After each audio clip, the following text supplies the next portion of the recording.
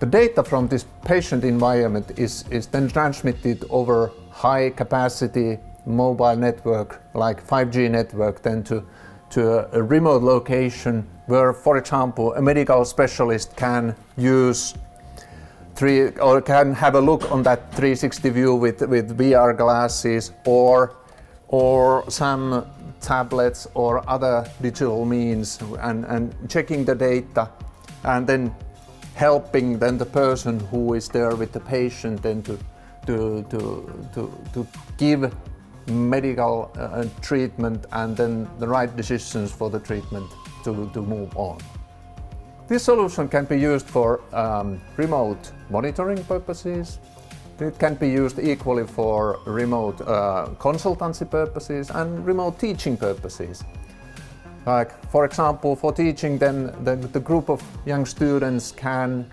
can follow the the, mm, the the patient monitoring or patient care, then and and have a look what the doctor is seeing through his own glasses, a kind of see what I see view, and then alternatively have a look on, on 360 view or, or the biometrical data which is then measured from the patient via IoT devices and, and then equally sent to the remote locations. With this solution then we can reduce the, the, the traveling and we can allow patient to, to stay at home longer by using digital means and using this wireless technology for allowing then the monitoring capabilities to do to be done remotely. And, and equally, if the, the patient is doing some sort of operation in the hospital, then we can adjust then the timing spent on the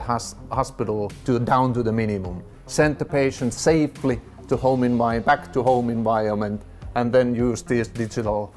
uh, means to, to, to equally guarantee a good treatment despite the, the, the distance.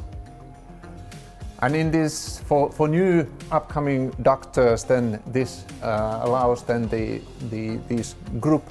group teaching um, then to, to, really to get the students very close to the patient despite the distance. With a big group, then only the people in this standing in the front row are, are in practice able to see anything really, but now with these digital means and really the, the, the, the capability of having the, the doctor's view shown and shared to the group of students, then everybody is able to see the,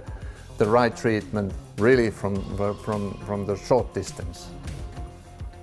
With these kind of new